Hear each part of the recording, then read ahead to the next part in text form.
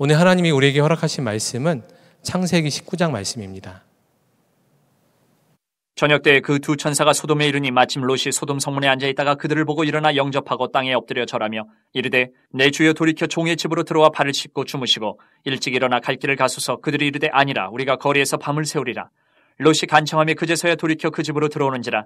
롯이 그들을 위하여 식탁을 베풀고 무교병을 구우니 그들이 먹으니라 그들이 눕기 전에 그 성사람 곧 소돔 백성들이 노소를 막론하고 원근에서 다 모여 그 집을 에워싸고 롯을 부르고 그에게 이르되 오늘 밤에 내게 온 사람들이 어디 있느냐? 이끌어내라. 우리가 그들을 상관하리라. 롯이 문 밖에 무리에게로 나가서 뒤로 문을 닫고 이르되 청하노니 내 형제들아 이런 악을 행하지 말라.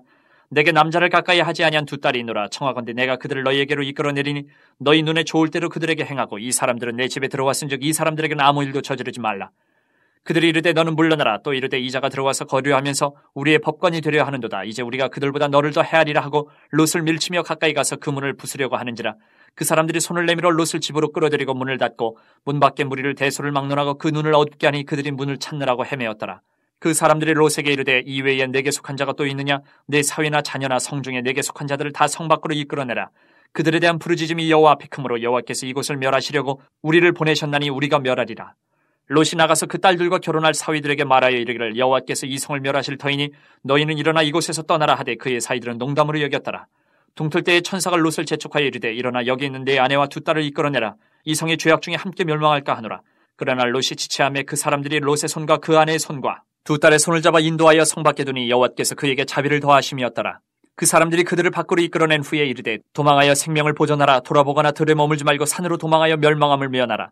롯이 그들에게 이르되 내 주여 그리마 없어서. 주의 종이 주께 은혜를 입었고 주께서 큰 인자를 내게 베푸사 내 생명을 구원하시오나 내가 도망하여 산에까지 갈 수 없나이다. 두렵건대 재앙을 만나 죽을까 하나이다. 보소서 저 성읍은 도망하기에 가깝고 작기도 하오니 나를 그곳으로 도망하게 하소서. 이는 작은 성읍이 아니니까 내 생명이 보존되리이다. 그가 그에게 이르되 내가 이 일에도 내 소원을 들었은즉 내가 말하는 그 성읍을 멸하지 아니하리니 그리로 속히 도망하라. 내가 거기 이르기까지는 내가 아무 일도 행할 수 없노라 하였더라. 그러므로 그 성읍 이름을 소알이라 불렀더라 롯이 소알에 들어갈 때에 해가 돋았더라. 여호와께서 하늘 곳 여호와께로부터 유황과 불을 소돔과 고모라에 비같이 내리사 그 성들과 온들과 성에 거주하는 모든 백성과 땅에 난 것을 다 엎어 멸하셨더라. 롯의 아내는 뒤를 돌아보았으므로 소금 기둥이 되었더라. 아브라함이 그 아침에 일찍이 일어나 여호와 앞에 서 있던 곳에 이르러 소돔과 고모라와 그 온 지역을 향하여 눈을 들어 연기가 온기 가마에 연기같이 치솟음을 보았더라. 하나님이 그 지역의 성을 멸하실 때, 곧 롯이 거주하는 성을 엎으실 때에 하나님이 아브라함을 생각하사 롯을 그 엎으시는 중에서 내보내셨더라. 롯이 소알에 거주하기를 두려워하여 두 딸과 함께 소알에서 나와 산에 올라가 거주하되 그 두 딸과 함께 굴에 거주하였더니 큰 딸이 작은 딸에게 이르되 우리 아버지는 늙으셨고 온 세상이 도리를 따라 우리의 배필될 사람이 이 땅에는 없으니 우리가 우리 아버지에게 술을 마시게 하고 동침하여 우리 아버지로 말미암아 후손을 이어가자 하고 그 밤에 그들이 아버지에게 술을 마시게 하고 큰 딸이 들어가서 그 아버지와 동침하니라. 그러나 그 아버지는 그 딸이 눕고 일어나는 것을 깨닫지 못하였더라. 이튿날 큰 딸이 작은 딸에게 이르되 어젯밤에는 내가 우리 아버지와 동침하였으니 오늘 밤에도 우리가 아버지에게 술을 마시게 하고 내가 들어가 동침하고 우리가 아버지로 말미암아 후손을 이어가자 하고 그 밤에도 그들이 아버지에게 술을 마시게 하고 작은 딸이 일어나 아버지와 동침하니라. 그러나 아버지는 그 딸이 눕고 일어나는 것을 깨닫지 못하였더라. 롯의 두 딸이 아버지로 말미암아 임신하고 큰 딸은 아들을 낳아 이름을 모압이라 하였으니 오늘날 모압의 조상이요 작은 딸도 아들을 낳아 이름을 베남미라 하였으니 오늘날 암몬 자손의 조상이었더라. 아멘 하나님의 말씀입니다. 어, 지난 18장에서 아브라함의 간곡한 간청에도 불구하고 의인의 수가 부족하고 그 땅이 정말 하나님의 어, 보시기에 정말 제약으로 가득한 곳이기에 소돔과 고모라 성이 멸망하는 장면이 오늘 말씀에 기록되고 있습니다.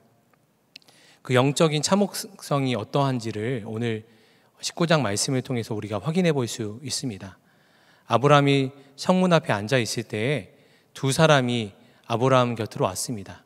그리고 아브라함은 그들의 극진히 모시고 또 집으로 초청하여 밤을 지나도록 하였습니다. 그런데 문제가 생긴 것이 그 성에 있는 사람들이 아브라함의 집으로 몰려들게 된 것입니다. 그리고 그 두 사람을 내어놓으라 하면서 이렇게 말합니다.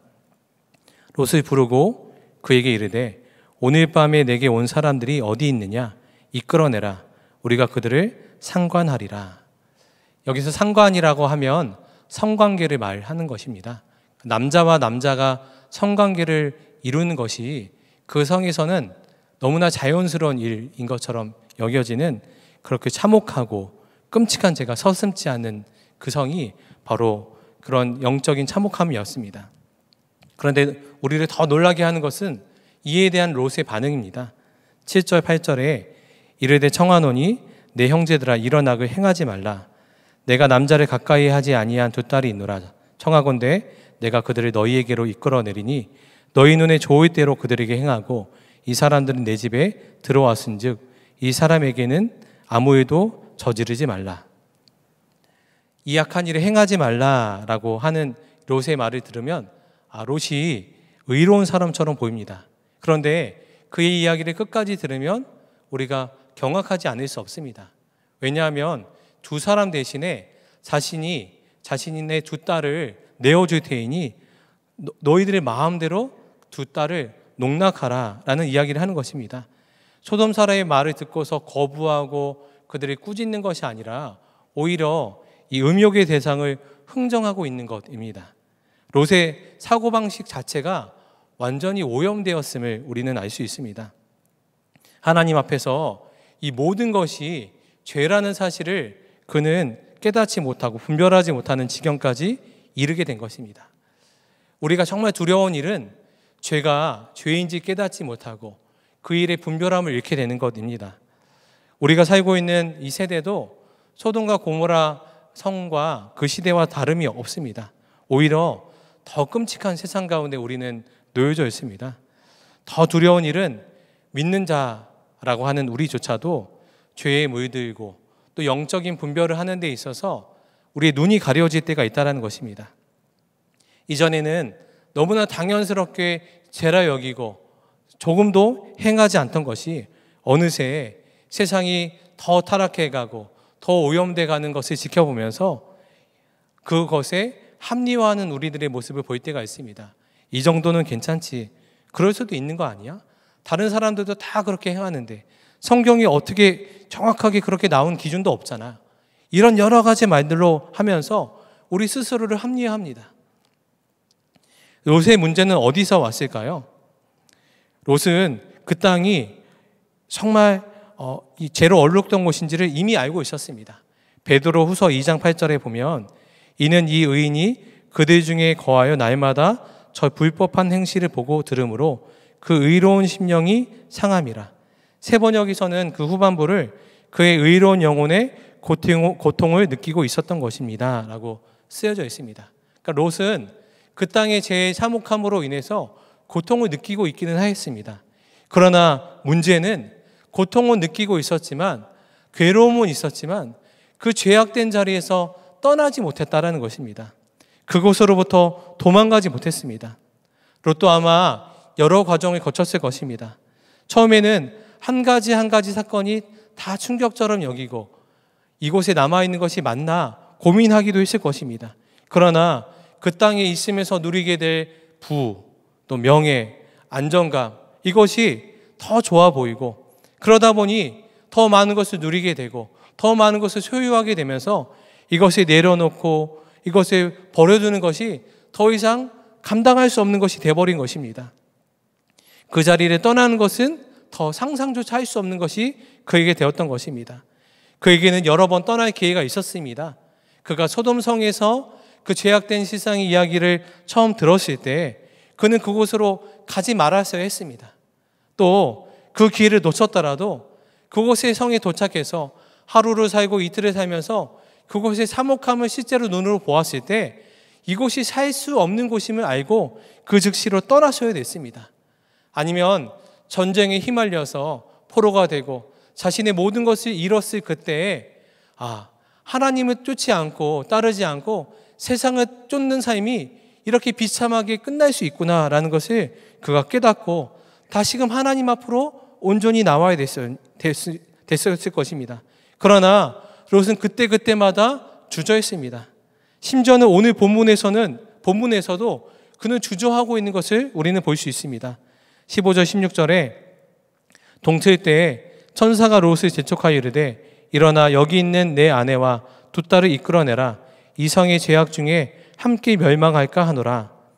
그러나 롯이 지체함에 그 사람들이 롯의 손과 그 아내의 손과 두 딸의 손을 잡아 인도하여 성 밖에 두니 여호와께서 그에게 자비를 더하심이었더라. 천사는 빨리 멸망할까 두려워하노라 하고 성 밖으로 나가라 그러고 계속 경고하지만 롯은 그 순간에도 지체했습니다. 결국 그 성을 나오는 것도 롯이 자발적으로 나온 것 아니라 천사들이 그 롯의 소유가 아내의 손을 이끌어내어서 그제서야 성 밖으로 나오는 지경에 이르렀던 것입니다. 마지막까지 지체하는 롯의 모습을 우리는 볼 수 있습니다. 이것이 살고 죽고의 문제가 달렸다라는 것은 롯을 알지 못했던 것입니다. 사랑하는 성도 여러분, 지금도 두 천사가 롯에게 말하고 있는 것처럼 우리 안에 계신 주님께서 우리에게 말씀하고 계십니다. 그 자리에서 떠나라. 그 방법은 아니다. 그 사람과의 관계를 정리해라. 사업하다 보면 관행적이다라는 이름으로 우리가 불법을 행할 때가 있습니다. 또 관계 안에서 오랜 관계 안에서 죄를 범하고 있음에도 정에 못 이겨서 그 관계를 정리하지 못하는 사람들이 있습니다. 음란하고 죄를 범하는 자리에서 딱 한 번만 더라는 그 말을 하면서 끝까지 그 죄의 자리를 벗어나지 못하는 이들이 있습니다. 죄를 이기는 가장 빠른 길은 죄가 깨달아지는 순간 그 자리에서 박차고 일어나는 것입니다. 죄의 자리에서 도망쳐 나오는 것입니다. 우리가 죄에 걸려지게 하고 주님께로부터 멀어지게 하는 그 자리에서 그 습관, 그 사람으로부터 도망치는 것, 이것이 죄의 자리에서 벗어날 수 있는 가장 쉬운 길, 가장 빠른 길, 가장 안전한 길이 되는 것입니다. 잠언 6장 27절 28절에 사람이 불을 품에 품고서야 어찌 그의 옷이 타지 아니하겠으며 사람이 숯불을 밟고서야 어찌 그의 발이 되지 아니하겠느냐. 불을 품고 있고 숯불을 밟고 있으면서 내 가슴이 뜨겁다. 내 발이 타고 있다. 옷이 타고 있다. 말하는 것은 어리석은 것입니다. 품고 있는 불을 내어버려야 되는 것이고 밟고 있는 숯불에서 내 발이 떼어야만 내가 내 옷이 타지 않고 내 발이 되지 않는 것입니다. 우리가 영적으로 그렇게 살아갈 때가 있습니다. 죄된 자리인 것을 알면서도 내 영혼이 다 불태워 버리고 내 영혼이 심각하게 무너지는 것을 보면서도 그 자리를 떠나지 못하는 것 볼 때가 있습니다. 죄의 유혹 앞에서 벗어나는 것, 도망치는 것, 우리가 당장 즉시로 행해야 되는 것을 우리가 이 시간 깨닫게 되기를 원합니다. 오늘 이 시간 기도할 때 우리가 주님께 그렇게 기도하게 되길 원합니다. 주님, 내 안에 있는 것을 다 밝혀 보여주시기를 원합니다. 내가 떠나야 될 자리가 무엇인지, 내가 끊어야 될 관계가 무엇인지, 더 이상 즐기지 말아야 될 작은 것 하나까지도 하나님 내게 깨닫게 하여 주시고, 내게 밝혀 보여 주시옵소서, 빛으로 보여 주시옵소서, 이 시간 주님께서 그렇게 깨닫게 하시면 우리가 즉시로 순종하여 그 자리에서 벗어나게 되기를 축복합니다. 주님 앞에 설 때 우리는 부인할 수 없습니다. 주님, 제가 몰랐습니다. 제가 알지 못했습니다.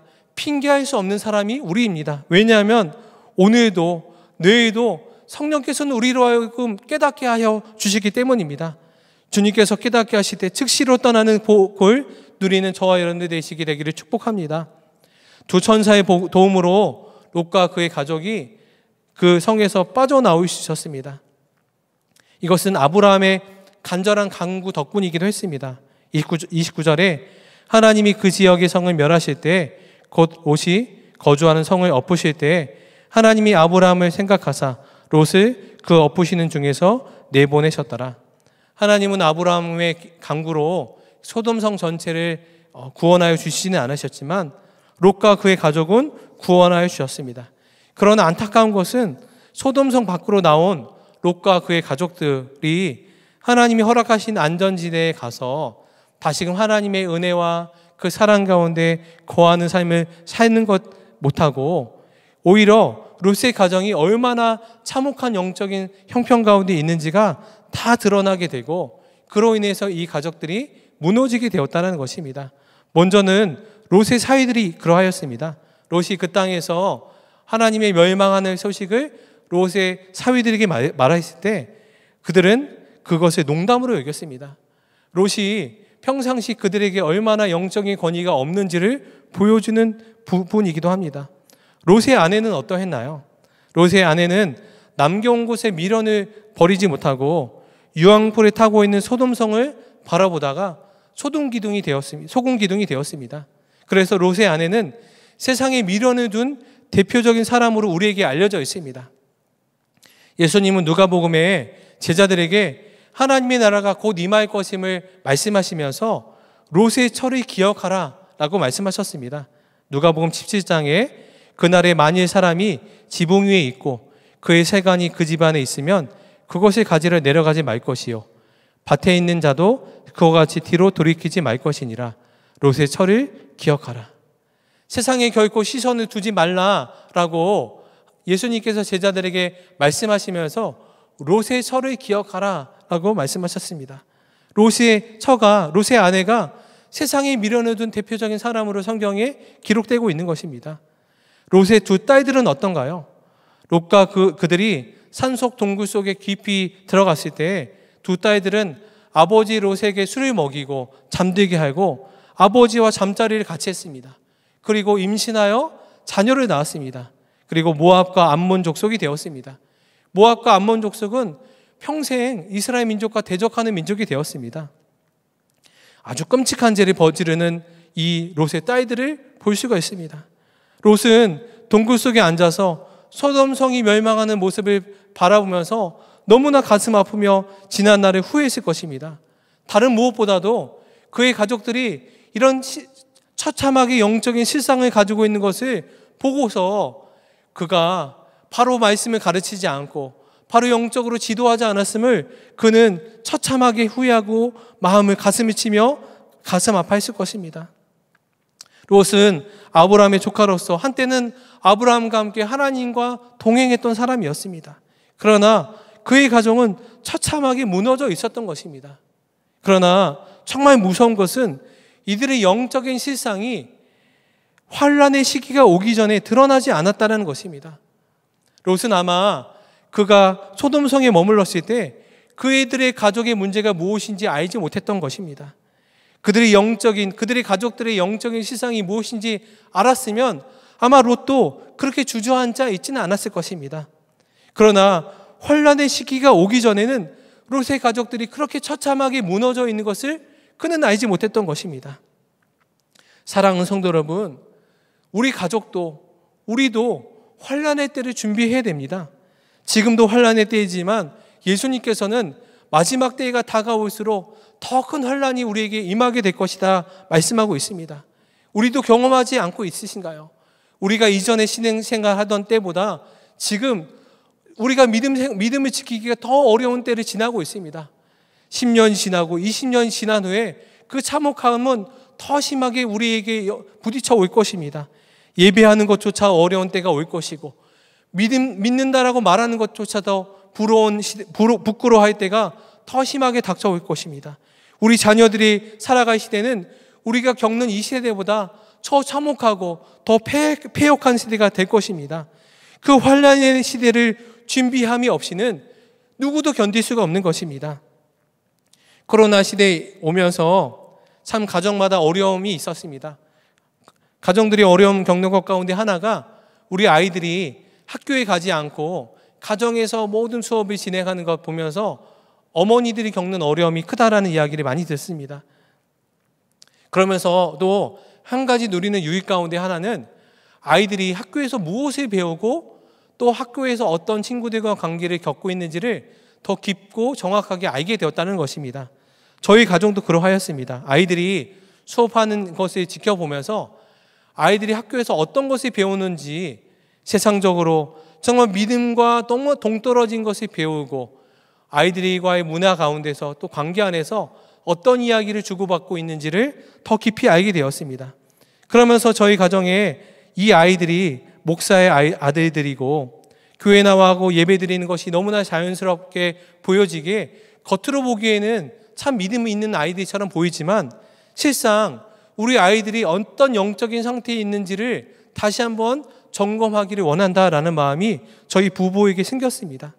그러면서 가정 안에 기도 모임이 기도 모임을 만들고 또 가족 말씀 기도방 카톡방을 만들고 또 아이들과 1대1 양육하는 자리를 만들었습니다. 아이디가 10주 양육 교제를 가지고서 1대 양육을 하면서 아이들에게 복음을 전하는 일을 통해서 아이들이 겉으로는 예배하고 있지만 이들 안에 예수님에 대해서 진정으로 알지 않은 것이 참 부족하고 부족하다라는 것을 알게 되었습니다.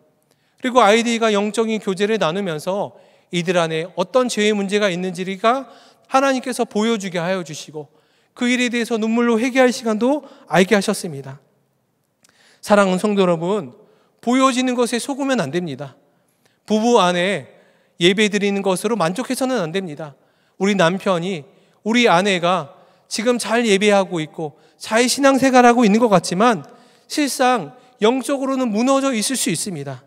우리 아이들 우리 아이들이 겉으로 보기에는 아무런 문제가 없는 것처럼 보일지언정 그들이가 영적인 교제를 나누면 그들이 얼마나 심각하게 죄의 문제로 걸려 넘어져 있는지 하나님은 밝히 보여주실 것입니다. 그들이 세상적으로 얼마나 생각과 마음이 오염되어 있는지 하나님의 진리에 얼마나 눈이 가려져 있는지 우리가 그것들을 바로 보이고 깨닫고 가정 안에서 부부 안에 자녀들과 관계 안에서 영적인 교제가 열려지고 또 기도의 자리가 회복되고 말씀 안에서 서로 교제하는 자리가 회복되어져 환란의 때를 준비하는 온전한 가정으로 세움받는 모든 가족들 되게 되기를 축복합니다. 이렇게 영적으로 준비될 때 우리에게 어떤 시험과 환란이, 환란이 닥칠지라도 우리가 믿음 안에서 서로 세움받아 승리할 수 있는 그런 은혜가 있게 될 줄 믿습니다. 그런 은혜가 가족들 안에 우리 모든 성도들 안에 있게 되기를 축복합니다. 이 시간 이 마음으로 우리가 기도하게 되기를 원합니다. 이 시간 기도할 때 먼저 15절 말씀 붙잡고 기도하겠습니다. 동틀 때에 천사가 롯을 재촉하여 이르되 일어나 여기 있는 내 아내와 두 딸을 이끌어내라. 이성의 제약 중에 함께 멸망할까 하노라. 이 시간 기도하기를 원합니다. 롯이 정말 처참하게 무너질 수 있었 밖에 없었던 것은 하나님이 깨닫게 하시고 하나님이 기회를 주셨음에도 불구하고 죄의 자리를 벗어나지 못했다라는 것입니다. 오늘 이 시간 주님께서 우리가 기도할 때 눈을 열어주시고 또 깨닫게 하여 주실 줄 믿습니다. 우리가 떠나가야 될 자리가 무엇인지 끊어야 될 관계가 무엇인지 주님께서 낱낱이 보여주실 것을 믿습니다. 이 시간 기도할 때 주님, 주님 죄의 자리에서 머물러 있지 않게 하여 주시고 속히 떠날 수 있는 믿음을 허락하여 주시옵소서. 성령께서 깨닫게 하시면 즉시로 모든 것을 다 버리고 돌이킬 수 있는 믿음을 우리에게 허락해 주시옵소서. 이 기도 제목 붙잡고 우리 주의 이름만 부르고 기도하겠습니다. 주여 살아계신 하나님 하나님께서 우리에게 밝혀 보여주시고 깨닫게 하여 주시옵소서 롯이 제자리임을 알며 알, 알고서도 그 자리를 떠나지 않고 돌이키지 않았던 것처럼 하나님께 성령께서 우리에게 보여주시고 깨닫게 하심에도 불구하고 내가 손해 보일 것 내가 하나님 버려야 될 것 이것이 아깝고 두려워서 떠나지 않고 버리지 않았던 그런 관계가 있으면 그 떠나지 못했던 자리가 있으면 하나님 우리가 정말 담대함으로 그 자리를 떠나게 하여 주시옵소서. 모든 것을 다 버리고 돌이키시는 믿음을 부어 주시옵소서. 죄의 자리에 더 이상 머물러 있지 않게 해 주시옵소서. 작은 죄 하나까지도 용납함이 없이 다 버리게 하시고 다 떠나게 하여 주시옵소서. 속히 떠나시는 믿음을 주시옵소서. 이 시간 우리에게 성령의 눈으로 하나님 보게 하여 주시기를 원합니다. 성령의 깨달음이 우리에게 있게 하여 주시기를 원합니다. 죄로부터 있는 믿음을 주시옵시고 죄로부터 꺼내낼 수 있는 하나님 믿음을 주시기를 원합니다. 하나님 그러므로 말미암아 우리 생각과 마음이 죄에 오염되는 것이 아니라 죄에 올라지는 것이 아니라 생각하는 것 하나하나 하나님 결정하는 것 하나하나 하나님 정말 거룩하여 하나님 정말 온전히 온전하신 하나님의 뜻을 쫓아 결정하고 있는 힘과 은혜가 우리에게 있게 하여 주시옵소서. 분별력을 영적인 분별력을 우리에게 허락하여 주시기를 원합니다. 하나님의 뜻이 곧 나의 뜻이 되어지고 하나님의 마음이 곧 나의 마음이 되어져 어느 것 하나까지도 정말 있는 영적인 권세와 힘을 우리에게 허락하여 주시옵소서. 주님 찬양합니다. 우리 한 번 더 기도하고 더 깊은 기도의 자리로 나아가겠습니다. 26절 롯의 아내는 뒤를 돌아보았으므로 소금 기둥이 되었더라. 환란의 시대가 오기 전에 우리 우리가 더 우리의 가족들을 또 우리의 내 자신의 영적인 시상을 깨닫고 하나님 앞으로 나아가는 것이 필요합니다. 이 사명이 이 책임이 우리에게 있습니다. 이 시간 우리가 기도할 때 주님 나뿐 아니라 우리 가족들의 영적인 실상, 실상을 책임지는 사명을 하나님 제가 감당하게 하여 주시옵소서. 하나님 가족들을 주님께로 인도하는 온전한 통로가 되게 하여 주시기를 원합니다. 우리 부부 안에 우리 자녀들과 관계 안에서 하나님 영적인 교제가 있게 하여 주시옵시고 그 교제 가운데 우리 영적인 실상이 낱낱이 다 드러나게 하여 주셔서 환란의 때를 준비할 수 있는 가정이 되게 하여 주시옵소서. 가정 안에 말씀과 기도의 자리가 회복되게 하여 주셔서 모든 가족들이 하나님 환란의 때에도 믿음으로 승리할 수 있는 가족들이 다 되게 하여 주시옵소서. 이 기도 제목 붙잡고 우리 주의 이름 한번 부르고 간절한 마음으로 기도하겠습니다. 주여 사랑하는 주님 하나님 우리 가족들이 정말 마지막 때에 환란의 때에 끝까지 믿음으로 견딜 수 있는 끝까지 믿음으로 승리할 수 있는 우리 가족들이 되게 하여 주시기를 원합니다. 지금 우리 가족들이 우리 남편이 우리 아내가 우리 자녀들이 어떤 영적인 실상 가운데 있는지 바로 바로 있는 눈을 우리에게 열어 주시기를 원합니다. 겉으로 보여지는 모습 때문에 하나님 우리가 속지 않게 해 주시옵시고 하나님 그들이 겪고 있는 죄의 문제가 무엇인지 그들이 겪고 있는 고민의 문제가 무엇인지 하나님 우리가 바로 보이고 함께 나누며 함께 고민하고 함께 기도하며 함께 세워져가는 우리 가족들이 되게 하여 주시기를 원합니다.